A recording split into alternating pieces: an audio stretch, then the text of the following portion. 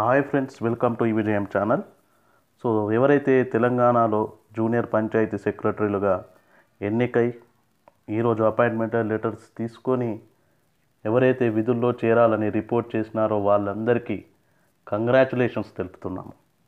ఈ విజయం ఛానల్ తరపున వాళ్ళందరికీ అభినందనలు. ఎంతో ఓపికతో ఎగ్జామ్ రాసినప్పటి నుంచి ఎన్నో కోర్టు కేసులు ఎక్స్పర్ట్ కమిటీలు ఇవన్నీ ఎలక్షన్ కమిషను ఇవన్నీ దాటుకుంటూ చివరికి మీరు అనుకున్న రోజు రానే వచ్చింది. అపాయింట్మెంట్ లెటర్స్ మీ చేతిలో ఉన్నాయి. అది నిజమే. మీరు గవర్నమెంట్ ఉద్యోగం సాధించారు. సో మీది మీరు ఈరోజు ప్రూవ్ చేసుకున్నారు మీరు ఏంటో అని. త్రీ ఇయర్స్ ప్రొబేషన్ ఉంది కదా అని భయపడకండి. ఖచ్చితంగా పర్మనెంట్ అవుతుంది జాబు. మీ పర్ఫార్మెన్స్ మాత్రం కరెక్ట్గా ఉండాలి. నిజాయితీగా పనిచేయండి త్రీ ఇయర్స్. ఎటువంటి లంచాలు కానివ్వండి ఎటువంటి ఇండిసిప్లిన్ యాక్టివిటీస్ మాత్రం చేయకండి. డిసిప్లిన్గా ఉండండి పద్ధతిగా ఉండండి. ఖచ్చితంగా మీకు జాబ్ అనేది పర్మనెంట్ అవుతుంది. ఆ తర్వాత సెకండ్ లిస్ట్ ఉంటుందా లేదా అని మరికొంతమంది అడుగుతున్నారు. మరికొంతమందికి కొన్ని ఆశలు కూడా ఉన్నాయి సెకండ్ లిస్ట్ మీద. సో కొన్ని జిల్లాలో ఏం జరుగుతుందో నాకు తెలిసినటువంటి సమాచారం ప్రకారం మీకు చెప్పేటటువంటి ప్రయత్నం చేస్తా. ఎవరైతే ఇతర గవర్నమెంట్ సర్వీసులు సాధించినారో రెగ్యులర్ సర్వీసులు అంటే ప్రొబేషన్ లేనటువంటివి లైక్ ఎఫ్బిఓ కానివ్వండి టీచర్వి కానివ్వండి కొంతమంది క్యాండిడేట్స్ విధుల్లో చేరనట్లు తెలుస్తున్నది. విధుల్లో వీళ్ళు ఎందుకు చేరలేదు అని అంటే అపాయింట్మెంట్ లెటర్స్ తీసుకున్నప్పటికీ వాళ్ళు ఎందుకు ఇంట్రెస్ట్ చూపడం లేదు విధుల్లో చేరడానికి. సో వాళ్ళకు గరిష్టంగా పదిహేను రోజుల టైం ఉంటుంది.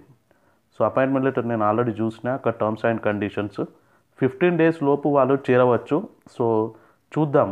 తా చాలామంది అయితే ఇంట్రెస్ట్గా లేరు. ఎందుకనంటే మనం హండ్రెడ్ రూపీస్ బాండ్ రాస్తున్నాం కదా. అయితే ఎవరైతే ఈ జూనియర్ పంచాయత్ సెక్రటరీగా నియమించబడ్డారో వాళ్ళకు ట్రైనింగ్ కూడా ఉంటుంది. సో వీళ్ళ మీద గవర్నమెంట్ ఎంతో కొంత ఖర్చు పెడుతుంది కాబట్టి వీళ్ళు జాయిన్ అయిన ట్రైనింగ్ అయిన తర్వాత ఒక నెల రోజులకు జాబ్ రిజైన్ చేసినట్లయితే సో సరిగ్గా కూడా ఉండదు. ఎవరైతే వేరే క్యాండిడేట్లకు కూడా కొద్దిగా అన్యాయం చేసినట్లయితుంది. ఎవరైతే మెరిట్ లిస్ట్లో ఉన్నారో వీళ్ళ తర్వాత సో వాళ్ళకి అన్యాయం చేసినట్లయితుంది కాబట్టి డిపిఓస్ కూడా ఏం చెప్తున్నారు అని అంటే సార్ మాకు వేరే జాబ్ వచ్చింది మరి రిజైన్ చేయవచ్చా అని అడిగితే మాత్రం వాళ్ళు కూడా ఆ, జాబ్కే వెళ్ళిపోండి ఇది అవసరం లేదు మీకు అన్నట్లు చెప్తున్నారు.